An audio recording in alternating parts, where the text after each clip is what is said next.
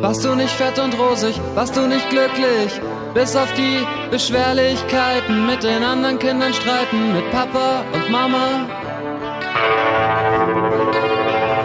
Wo fing das an und wann? Was hat dich irritiert? Was hat dich bloß so ruiniert? Was hat